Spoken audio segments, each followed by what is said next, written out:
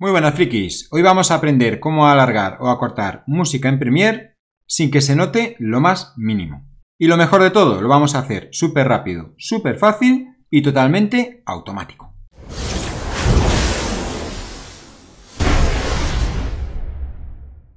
Bien, para mostraros cómo funciona voy a usar el clip que usé en el anterior tutorial de volumen automático de la música, que si no lo habéis visto os lo recomiendo.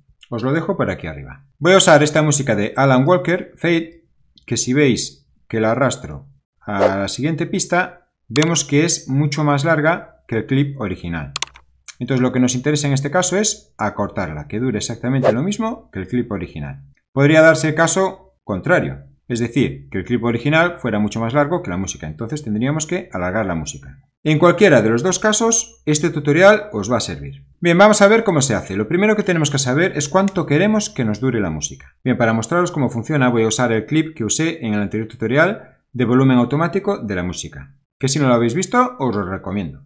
Os lo dejo por aquí arriba. Voy a usar esta música de Alan Walker, Fade, que si veis que la arrastro a la siguiente pista, vemos que es mucho más larga que el clip original. Entonces lo que nos interesa en este caso es acortarla, que dure exactamente lo mismo que el clip original. Podría darse el caso contrario, es decir, que el clip original fuera mucho más largo que la música, entonces tendríamos que alargar la música. En cualquiera de los dos casos, este tutorial os va a servir. Bien, vamos a ver cómo se hace. Lo primero que tenemos que saber es cuánto queremos que nos dure la música. En este caso queremos que dure tanto como este clip, entonces, vamos a mirar cuánto dura. Aquí lo tenemos. Un minuto, 12 segundos. Eso es lo que queremos que nos dure la música. Bien, el siguiente paso es abrir esta pista de audio en Adobe Audition. Para eso podemos hacerlo de dos formas. O lo exportamos aquí con el botón derecho, editar en Adobe Audition Clip, o podemos hacerlo directamente desde la pista de aquí.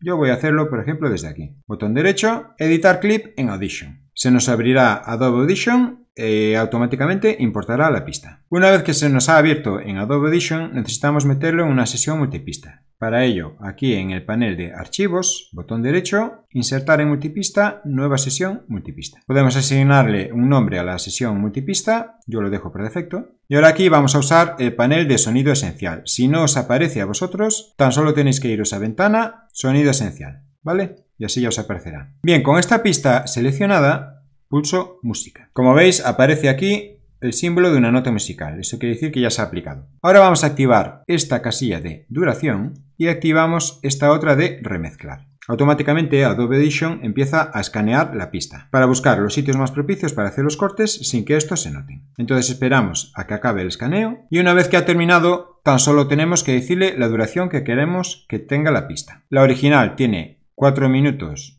casi 20 segundos. Si quisiéramos alargarla, pues simplemente, yo que sé, le ponemos 10 minutos y Enter. Y automáticamente ha alargado la pista hasta la duración que le hemos dicho. Estas líneas que veis en zigzag indica dónde Adobe Audition ha hecho los cortes. Vamos a reproducirlo para que veáis que no se nota en absoluto.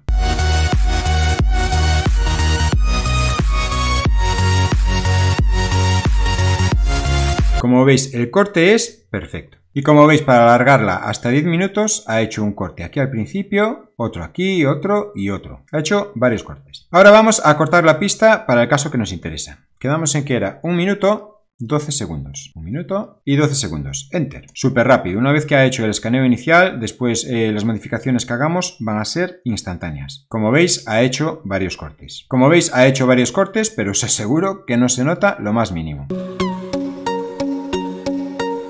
Este sería uno. Este otro.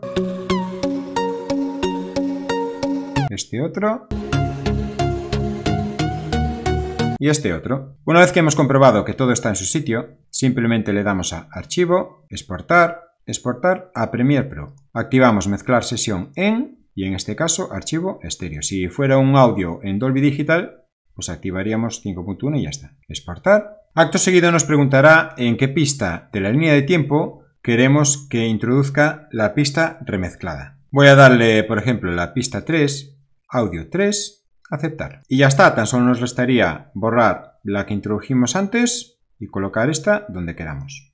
Y ya está, súper sencillo, ¿a que sí? No os hacéis una idea de lo práctico que es este método. Antes había que hacerlo todo manual era a base prueba-error y te echabas un montón de tiempo solo para alargar o acortar la música. En fin, espero que os haya gustado el vídeo. Recordad compartirlo con todos vuestros colegas y si no quieres que te pique, dale al like.